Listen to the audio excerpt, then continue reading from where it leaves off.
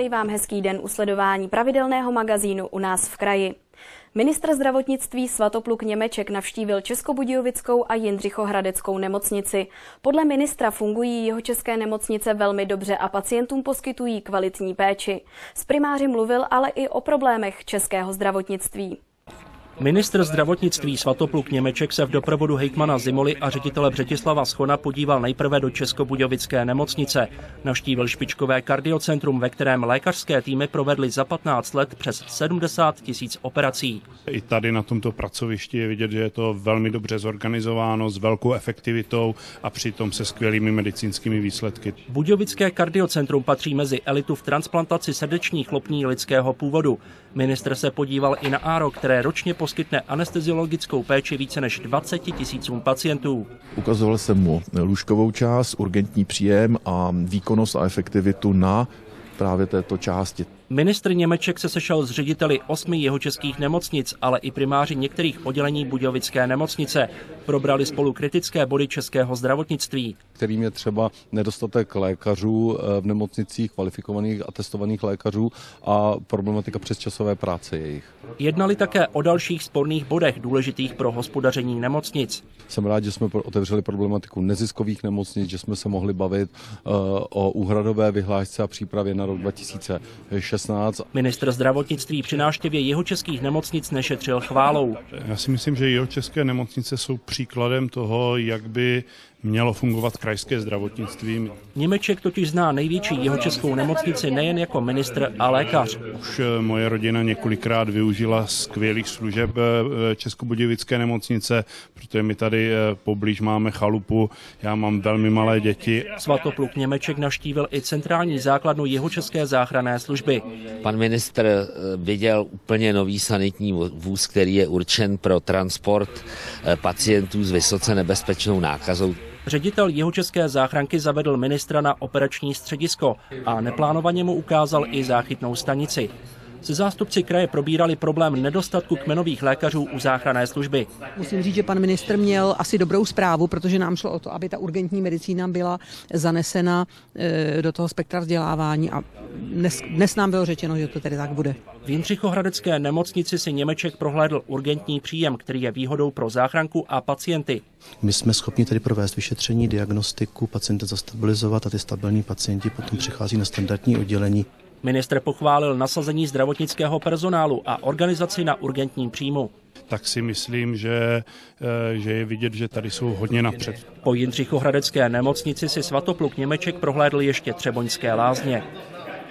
Magazín u nás v kraji pokračuje rozhovorem s náměstkyní hejtmana Ivanou Stráskou na téma zdravotnictví. Dobrý den. Na otázky pro dnes bude odpovídat Ivana Stráská, náměstkyně hejtmana jeho Českého kraje. Dobrý den. Dobrý den i vám, vážení diváci. My se spolu budeme povídat především ze začátku o návštěvě pana ministra zdravotnictví Svatopluka Němečka. Tak eh, k čemu je dobrá taková návštěva ministra zdravotnictví v jeho českých nemocnicích? Myslím si, že ty důvody mohou být dva. Eh, my jsme tu návštěvu připravovali poměrně dlouho a zvažovali jsme, co panu ministrovi ukážeme protože jeho české zdravotnictví je obecně vnímáno jako velmi dobré zdravotnictví, takže do určité míry jsme se chtěli i pochlubit. To je ten jeden důvod. Chtěli jsme mu ukázat, že zdravotnictví i s těmi příjmy, které jsou nastavené tak, jak jsou nastavené, může fungovat efektivně a může být velmi dobré. No a samozřejmě jsme s ním chtěli diskutovat, to je ten druhý cíl, o některých disproporcích, o některých možnostech, problémech, které v tom zdravotnictví jsou a s ním byž on nám může pomoct. Jaké problémy jeho české zdravotnictví a nemocnice momentálně nejvíc tíží?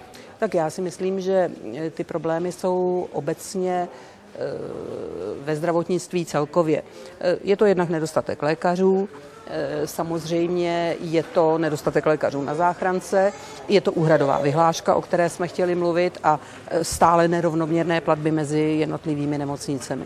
Uh-huh.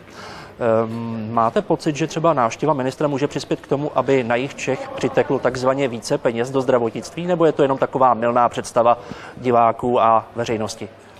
tak eh, já nevím, jestli přímo do zdravotnictví Jižních Čech. Já si myslím, že ty věci se mají řešit systémově a o systémových řešeních jsme s panem ministrem mluvili a v důsledku toho přiteče víc peněz i do těch Jižních Čech, pokud se ta systémová řešení povedou. Mluvila jste o záchranné službě, o záchrance.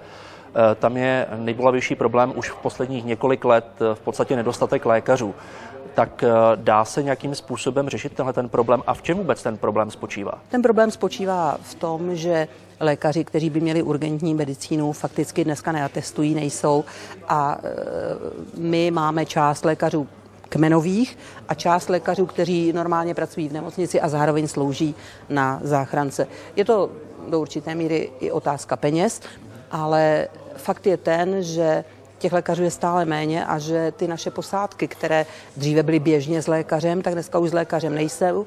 Vy můžete potkávat ta žlutá autíčka, randevu, my to řešíme tím, že prostě eh, těch výjezdových eh, posádek je víc než těch, eh, těch lékařů a oni jsou schopni dojíždět s tím autíčkem randevu tam, kde je potřeba. No a samozřejmě, že se už léta, léta, šest let snažíme upozorňovat na ten nedostatek ve vzdělávání lékařů. Dneska eh, té schůzky byl účasten i ředitel zdravotnické záchranné služby, pan doktor Slabý. On jel přímo z asociace, z jednání asociace zdravotních záchranných služeb a myslím si, že si přijel pro velmi dobrou zprávu, že se podařilo tu urgentní medicínu zařadit do toho systému vzdělávání. Když se vrátím zpátky k jeho českým nemocnicím, tak by mě zajímalo, jak je to s investicemi. Jaké investice momentálně probíhají, takzvané jaké akce a jaké investice do jeho českých nemocnic chystáte? My se vždycky snažíme plánovat na tři roky dopředu, to znamená, že ty nemocnice ten svůj investiční plán odevzdávají eh, vždycky s předstihem na další roky, protože dlouho trvá ta investiční příprava. K těm největším, které se začaly realizovat, je ta veliká akce v nemocnici České Budějovice, kdy chceme dokončit vlastně opouštění toho dolního areálu té bývalé vojenské nemocnice a vytvořit naprostý monoblok eh, v nemocnici České Budějovice. Bude to akce zhruba za 800 milionů a eh, ty, ty začátky už, už tady jsou. Další velká investiční akce už tři roky probíhá v Hradecké nemocnici, kde jsme dneska s panem ministrem mimo jiné také byli. Předvedli jsme mu urgentní příjem, který je jednou z těch investic. Eh, viděl nové chirurgické oddělení. Prostě myslím si, že ty proměny, kterými Hradecká nemocnice za poslední tři roky prošla, prošla hmm. jsou, jsou tak markantní a, a, a tak prostě zásadní, že to musí vidět každý, i ten, kdo tomu zdravotnictví o českému nefandí. Takže to je další velká investice, v které budeme hmm. pokračovat. A Krumlovská nemocnice? Krumlovská nemocnice se připravuje. Eh, zcelení té Krumlovské nemocnice bude to investice někde kolem možná 100 milionů. Eh, další jsou investice v táboře, které připravujeme do budoucích operačních programů. Doufáme, že teda na nás to štěstí dopadne dopadne a že ty peníze zase budou k využití. No a v Písecké nemocnici je připravována poměrně velká investice, která by vlastně taky zcelila tu nemocnici, přivedla by vlastně i ty centrální laboratoře a tohle všechno do areálu nemocnice a ta se bude realizovat taky v průběhu tří let. Eh, je třeba říct, že jeho český kraj na všechny tyhle investice významně přispívá. My každý rok dáváme do těch investic zhruba 90 milionů korun a ty dělíme mezi jeho české nemocnice. I ta nejmenší, i ta Dačická dostane svůj díl a má připravenou investici. Dobře, já vám děkuji za rozhovor. Já taky děkuji.